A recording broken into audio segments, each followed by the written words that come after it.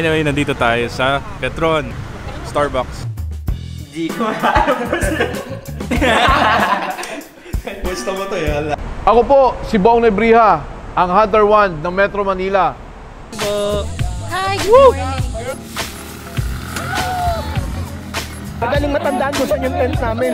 Kutok talaga. So yung layo. Share, share kayo dyan. ah. Oh, makakainin to? Sobrang solid. First time ko makapag-trail tapos gamit ko pa.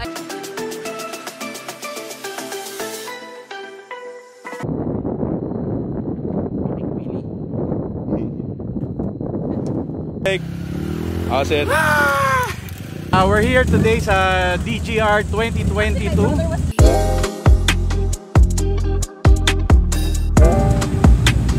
Morning!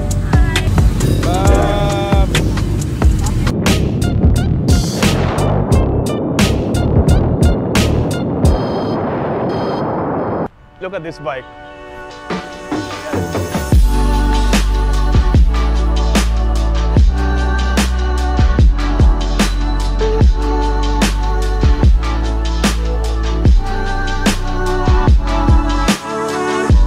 Nandito tayo sa harap ng biker box ngayon sa sukat.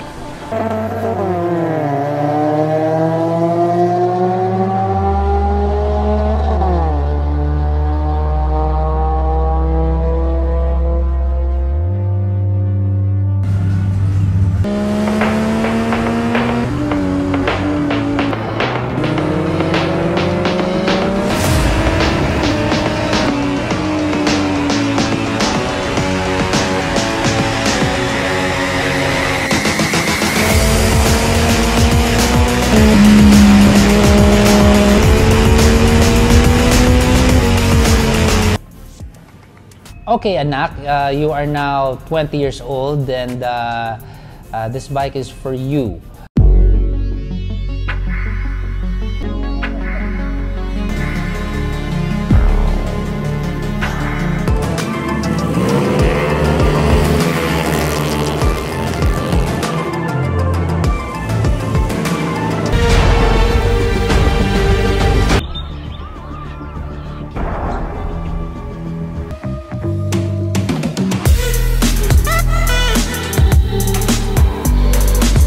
Dami niyan sir ah.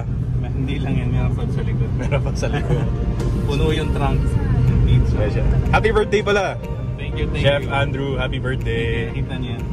Dami. Yan. First order na legit First bulk order. Thank R- you. Ronald Chan. Meron pa sa likod.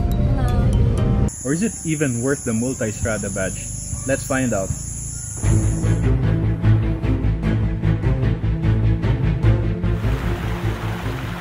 No matter how much electronics and high-tech parts it's fitted with, the mark of the real Multistrada is to be able to tackle this sort of stuff.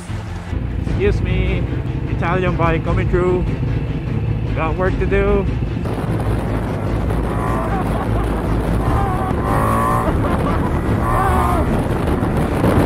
Oh my god! This is the 2021 Ducati Multistrada V4S. So, walang traffic, walang problema. Let's get around. or fun means of transportation, but it's also a very practical one. This is the guitar of my idol, Robert Smith. The Robert Smith signature guitar. Robert, hindi common. Hindi siya ordinary. Napadala ko dito, nag-wildcard ako. Pero ngayong taon po,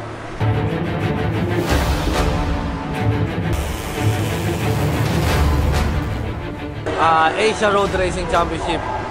Isa kami sa mga napili dito para mag-compete sa kanya-kanya mga bansa.